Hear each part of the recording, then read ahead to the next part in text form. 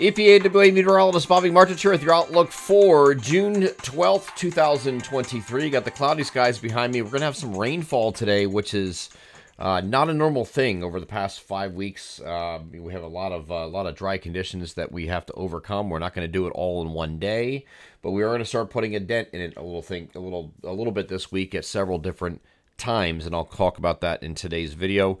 First and foremost, the Monday video forecast is probably sponsored by Kinsley's Family Market in Brodheadsville, Monroe County, Pennsylvania. It is June, and at Kinsley's ShopRite, they have all of your summer favorites for dad and grad. Stop in and find all types of catering delights for your next barbecue birthday celebration, wedding, or baby shower. They have the perfect party appetizers, scrumptious scrumptious smoked meats, the freshest produce, delightful summer salads, and fresh chicken and wings. Their bakery girls are busy decorating the delectable sheet cakes, and don't forget the ice cream. Stop on in to the world's largest ShopRite and pick up all of your summer favorites. They are Kinsley ShopRite, located at 107 Kinsley's Drive in Brodheadsville, Monroe County, Pennsylvania. Proud sponsors of the Monday video forecast. So we have showers and we have some thunderstorms moving in today. Uh, the Storm Prediction Center does have a marginal risk for severe weather across the easternmost portions of Pennsylvania, parts of New Jersey, Delaware, Maryland. I will tell you uh, that the bottom part of this, now this is, in fairness, this is a day two outlook, so they're going to probably adjust this around. Uh, I think the bottom parts of this, below that line, actually not even that far, uh, I'd probably say these parts right up here, northwest of that, uh, southeast of there, there's probably nothing. Okay, you might just have a few showers here. There's really not might, might, might not even be any thunderstorms southeast of that line.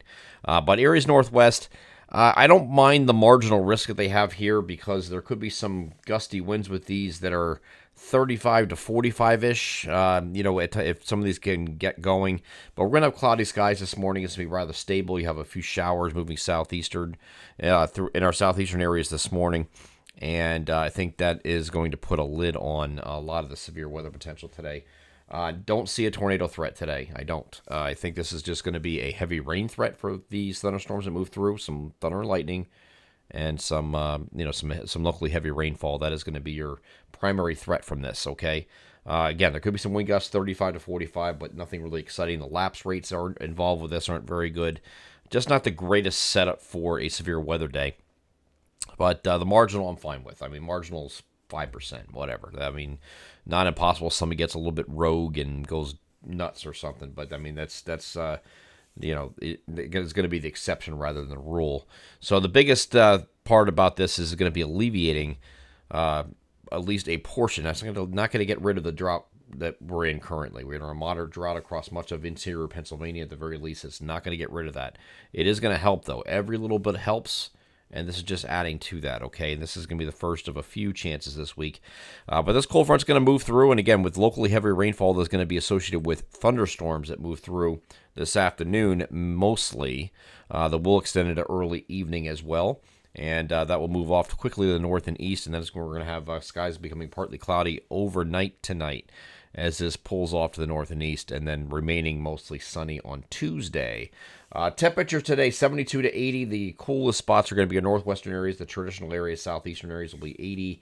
And then uh, same thing here on, uh, we're looking like here on Tuesday, but uh, temperatures are technically very slightly below average, okay, like near to slightly below. It's not very much, but if we a couple degrees there uh, below average, what it should be for this time of year for Tuesday in the wake of this cold front. Okay. Before we go any further with Wednesday, uh, here's the NAM high res future simulated radar on the zero Z NAM. I'm going to start this off here at 8 o'clock in the morning.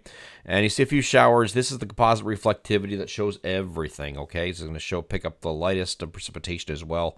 Uh, there was some uh, opportunities for some light showers in a few spots overnight, but that's kind of gone away. Uh, it's just in our southeastern areas here earlier in the morning.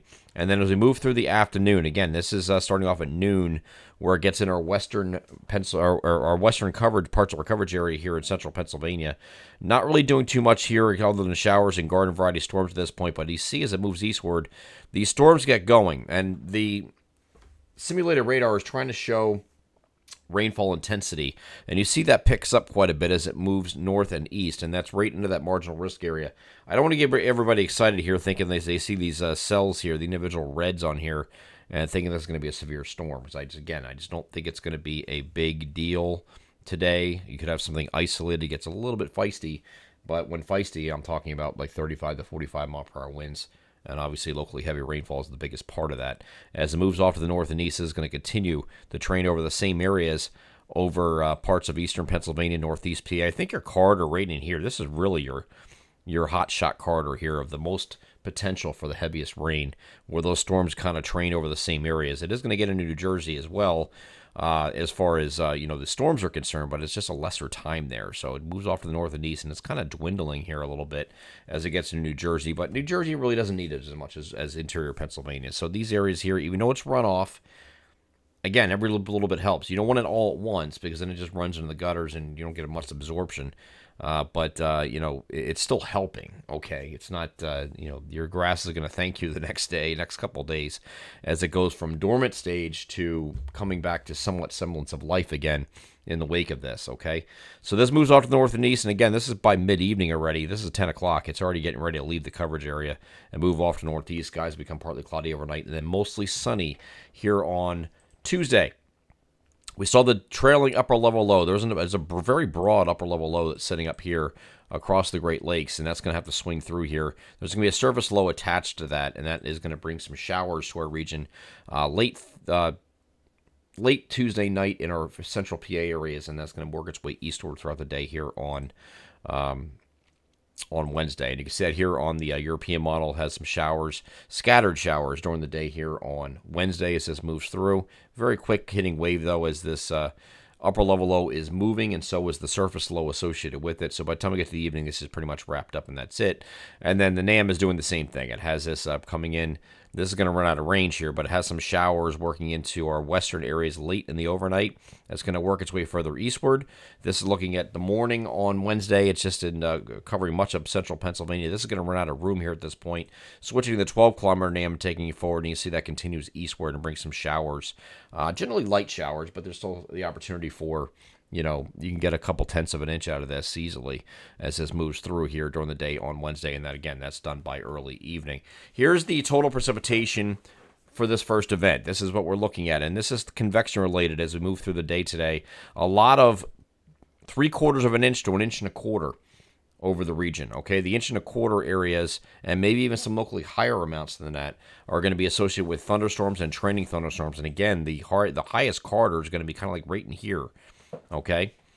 Where you have the best opportunity to get the most rain out of this. And that's right in the middle of our uh, moderate drought, drought area, our D1 outlook, or the outlook for the came out last Thursday from the uh, U.S. Drought Monitor has has us in D1, which is a uh, which is a moderate drought for much of these areas that are going to get the rain. So this is much needed rainfall for today, and then we get to Wednesday, and it just adds to it you get some additional. Woo, I'm getting way too far there.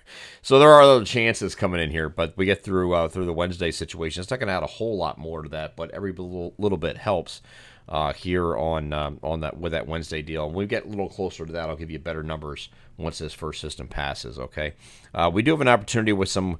Uh, according to the uh, the uh, European model, anyway, there is an opportunity for a late day thunderstorm here in some parts of the region on Thursday as well. Uh, but then we're back to partly cloudy skies on Friday, mostly sunny skies on Saturday.